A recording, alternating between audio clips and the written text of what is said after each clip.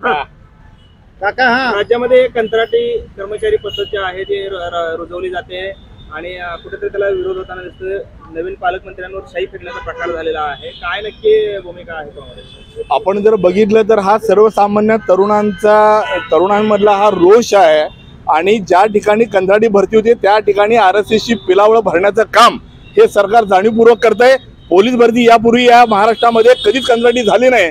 परंतु भाजप आणि भाजप भारतीय जनता पार्टीवर प्रेम करणारी जनता किंवा भारतीय जनता पार्टीला मदत करणाऱ्या तरुणांना जाणीवपूर्वक पोलीस भरती करायची आणि येणाऱ्या निवडणुकीमध्ये फायदा उचलायचा असा या भारतीय जनता पार्टीचा श- प्रयोग आहे किंवा त्यांचा मानस आहे. त्यामुळं राज्यातल्या स्पर्धा परीक्षेचा अभ्यास करणाऱ्या तरुणांच्या करिअरची चेष्टा करण्याचा प्रकार हे भारतीय जनता पार्टी सरकार करत आहे मी काँग्रेसचा राज्याचा प्रवक्ता म्हणून त्यांचा धिक्कार व्यक्त करतो. आणि ही तात्काळ भरती जर बंद केला नाहीत तर आज फक्त एका पालकमंत्र्यावर ही कालचा प्रकार घडलेला आहे. येणाऱ्या काळामध्ये महाराष्ट्रातला तरुण मोठ्या प्रमाणात तुम्हाला या रोषाला सामोरं जावं लागेल एवढं मला या ठिकाणी सांगायचं आहे. जे लोक आंदोलन करतात त्यांच्यावरती तीनशे त्रेपन्न सारखे गुन्हे दाखल केले जात आहेत. तरुण कार्यकर्त्यांना कुठेतरी त्यांचं खच्चीकरण करण्याचा प्रयत्न आहे. ब्रिटिश झालंय तर निश्चितपणे आपण जर बघितलं तर लोकशाही जाऊन हिटलरशाही आणण्याचं काम मोदी आणि शाह सरकार हे तर चौदापासून करतायत. परंतु त्याचीच पुनरावृत्ती या या एकनाथ शिंदे फडणवीस आणि पवारांच्या सरकारमध्ये होती. म्हणजे तुम्ही आंदोलन करायचं नाही तुम्ही विरोधात बोलायचं नाही. आणि जर बोलला तर तीनशे त्रेपन्नचे गुन्हे दाखल करणार आणि तुम्हाला हात बसवणार.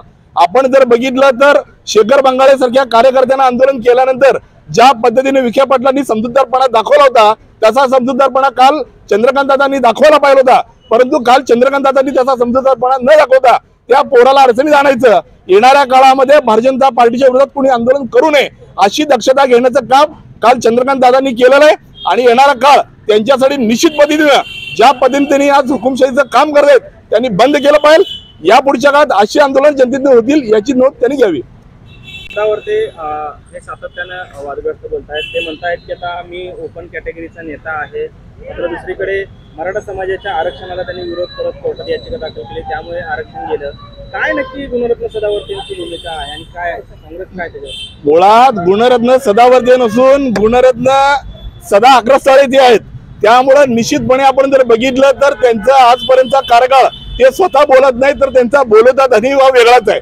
त्यामुळे त्यांच्या बोलत्या धन्याचा शोध घेतला पाहिजे. आणि जर तुम्हाला सरसर विरोध करायचा असेल तर त्यांनी या राज्यातल्या मराठा समाजाची माफी मागून सांगितलं पाहिजे की आम्ही आरक्षण देऊ शकत नाही.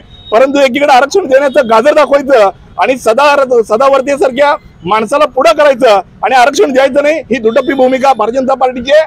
आणि निश्चितपणे भारतीय जनता पार्टी ओबीसी मराठा वाद लावण्याचं काम या राज्यात भाजपा करते. काल एका इंटरव्ह्यू मध्ये मी बघितलं सदावर्ते म्हणत होती की मी ब्राह्मणांचा नेता आहे. माझा सवाल आहे त्या सदावर्तींना. तुम्हाला कोण ब्राह्मणाचा नेता केलाय? कुठल्या ब्राह्मण समाजातल्या तरुणांना तुम्हाला सांगितलं की तुम्ही आमचा नेता आहे? एक तर तुम्ही पहिल्यांदा ब्राह्मण समाजाची माफी मागा.